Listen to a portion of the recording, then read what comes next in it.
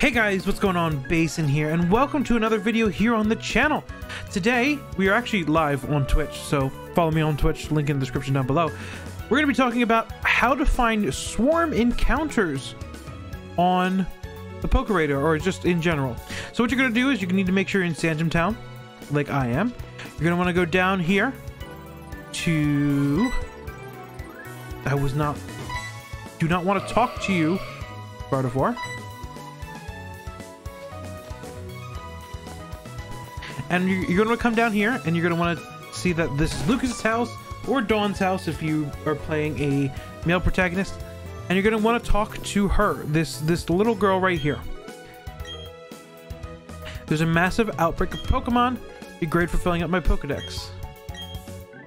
217, there's a bunch of Swinub there. So, we're going to go to Route 217. So route 217, that's 215, that is 214, 222. Let me find, where is 217? It's 215, 209, 214. Isn't this is it's like 230 right up here? There's not like 217 up here. There's 217. That's 212. I know that. It's 221. That's 218. 203. Is this 217?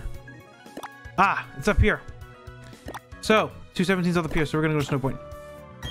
So we're gonna go to Snow Point. So we're gonna go find the radar Pokemon, which is indeed Swinub today. And you can see that if you go down here, and it says a lot of Swinub have been spotted on Route 217. And if you check out my previous video, we talk about how to radar hunt. And so you're basically going to be doing that here as well. We are not technically in 217 yet, which is why nothing has happened yet. Do -do -do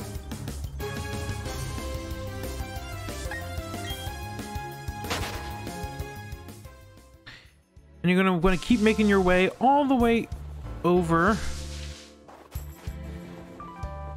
Let me use a repel. Where's my repels? Hello? Max repels, where are you? Okay. So we don't run into any Pokemon here. And this is Route 217. So if you look in the grass, there is a bunch of Swinub appearing. And it doesn't help because right now there's a bunch of snow in the way that you can't really see. But I swear, if you look closely enough, there is some Swinub popping up. So what you're going to want to do is activate your Poke Radar. Try to find the grass in all this thickness. Does default work here? And you want to go to the farthest patch. And we're going to see if it's a Swinub. It is a Snorunt.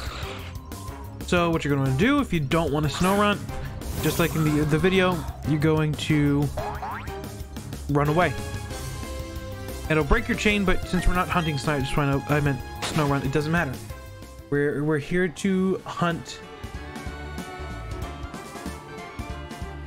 We're here to hunt Swinub.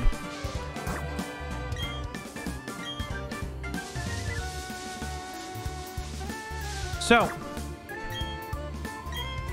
Nine, okay.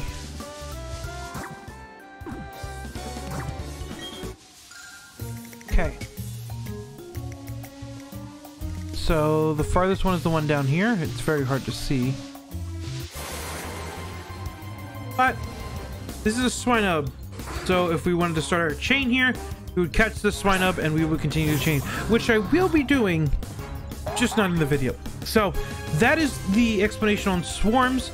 There's a 40% chance of that Pokemon appearing on any daily basis. So you want to keep make sure you go and check what swarm you have that day. So I hope that you find this video helpful and it is a 40% chance to encounter it. So if you did find it helpful, make sure you subscribe to the channel and click a like on the video. All right, I will see you guys in the next one.